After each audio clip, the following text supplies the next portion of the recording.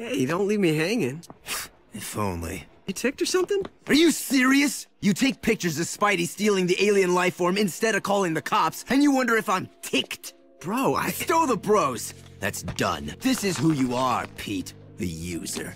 You do what gets you ahead, even if it hurts the people you claim are your friends. Oh, great. I've lost my oldest friend. Well, who needs him? I've got the cool new suit. Nope, it's not Pete. Well, he is someone I met at the formal. Here he is now. Glad you came out tonight, Mary Jane. But, uh, won't Pete be bummed? He knows we're not exclusive. Still, he was crushing pretty hard at the dance. Well, what's the deal with you two?